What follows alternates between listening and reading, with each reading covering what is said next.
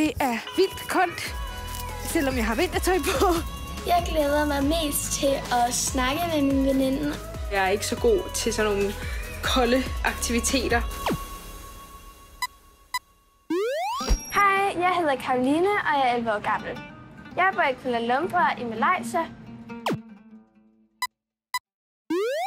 Hej, jeg hedder Sofie. Jeg bor i Turku i Finland.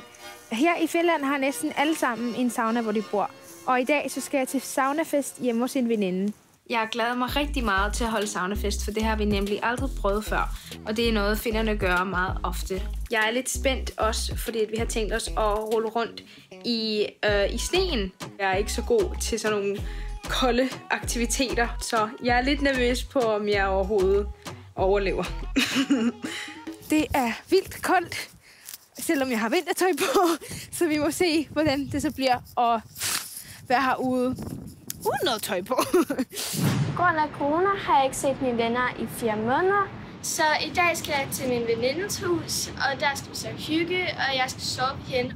Nu er jeg så i taxaen på vej ud til min gode veninde, og jeg glæder mig virkelig, virkelig, virkelig meget.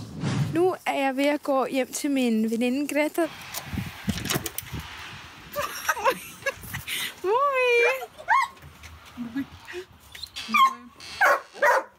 Der har vi en sød lille hund. Sådan ser her ud.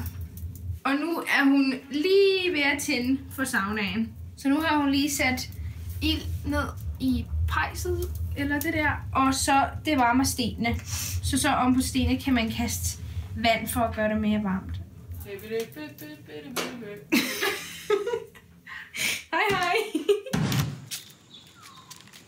Jeg glæder mig mest til at snakke med min veninde og som fortælle sindssygt mange ting. Hej, mit navn er Natasha, og hun er så 11 år gammel, og hun kommer fra USA.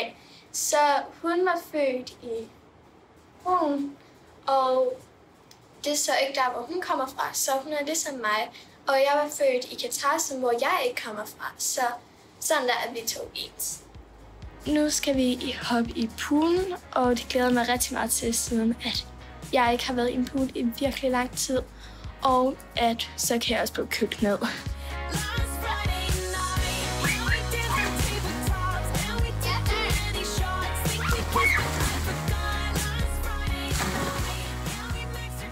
Vi har bare haft rigtig sjovt, men nu har vi grint rigtig meget, og siden vi har været lukket ned, så er det, at jeg næsten overhovedet ikke har grint.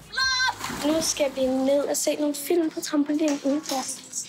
Grunden til, vi vil sidde på trampolinen og se øh, et film, det er fordi, at vi synes bare, at det er virkelig hyggeligt. Nu er vi færdige med filmen, og klokken er 11. Og vi er hoppet i nattøjet. Godnat.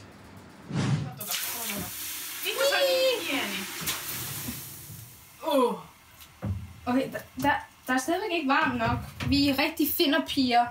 Vi behøver mere varme. Og vi har øh, drinks, energidrinks. Og så har vi pølser, som øh, vi ikke har stakt, øh, stegt, for det, det kan vi ikke finde ud af. Nu bliver det varmt. Uh, uh, uh. Ja, uh. Så nu tager vi ud. Skal ud i den kolde sne. Let's go.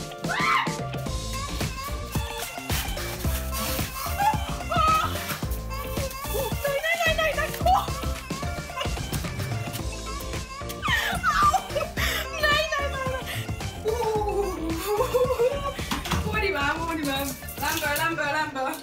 Sneen var blevet helt hård, og det er ikke blødt sne.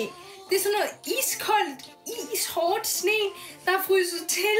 Så det var virkelig, det var ikke så koldt, men det var bare virkelig ubehageligt. Og som I så, væltede jeg, og ja, der kunne have gået galt, men jeg er i live, som jeg troede, at jeg ikke ville være. Nu er klokken 10, og nu har mig og Natasha endelig vundet op. Lige nu har Buster vi så hunden. Jeg synes, at det var ret dejligt at se min veninde, og jeg er virkelig glad, at jeg har set hende. Og jeg er virkelig glad, sådan, at vi har fået snakket lidt. Hej hej! Hvis du vil se mere vlog fra verden, så klik et sted herover. Klik bare.